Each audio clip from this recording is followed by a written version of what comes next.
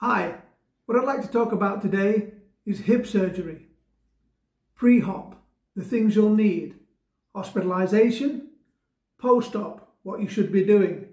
Let's get into it. Okay, so we're at the pre-hop stage. You've realized that walking around like a penguin and with a, with a shitload of pain in your hip and you're eating painkillers like popcorn, you realize that this is not quite a natural lifestyle and so you're going to go to the doctor and, and, and find out what's wrong. You, you, you kind of know what's wrong, right? So you need to go first to an orthopedic doctor.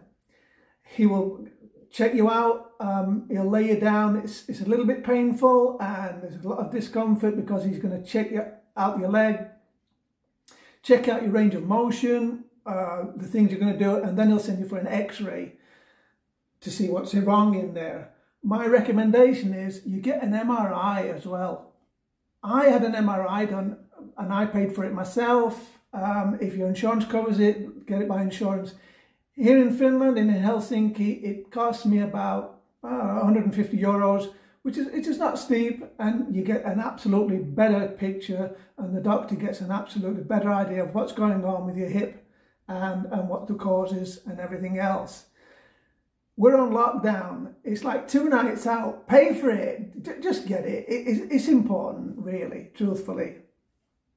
The two things that you want to be doing also on your pre-hop is get yourself some of this and it's called tattoo aftercare. You can see it. It's like a, it's like a, uh, it's like a little bit like an air gel, but it's, it's antibacterial now you can get this from reputable tattoo parlors. Just go get it. You'll need this for post-op.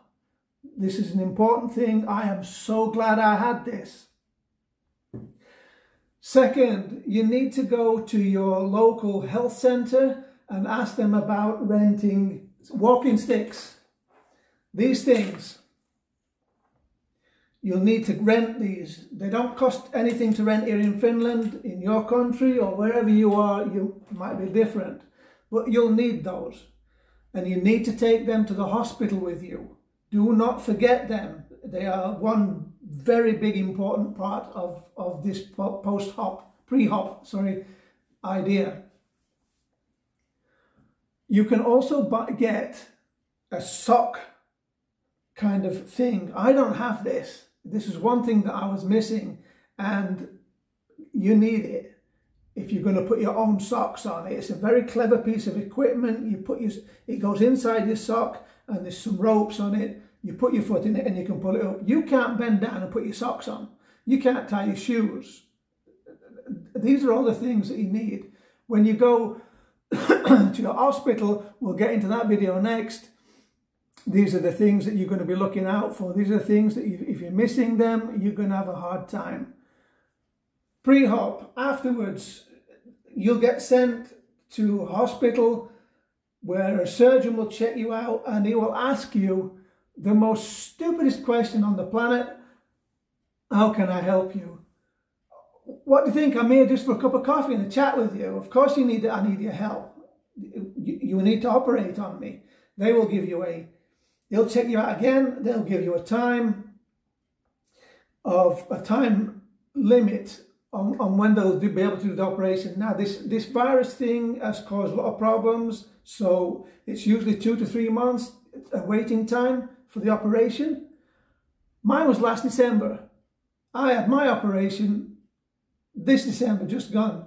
So I had a whole year of waiting for this operation, which was absolutely horrific. So just be patient and, uh, and, and be careful with the things that you're doing. Make sure you've got painkillers because post, pre-hop, you'll be eating a lot. Try to stay away from Burana. Use Panadol or, or something else. Burana is, is a horrible, horrible painkiller. It reduces kidney function. I didn't know this until later when I was at the hospital and they said I'd got reduced kidney function by taking Burana. Don't use it. Try to use Panadol, anything else. Talk with your doctor about the things that you can take and, and be careful with this. We'll get now into the next bit, which is hospitalisation. It'll be in the next video.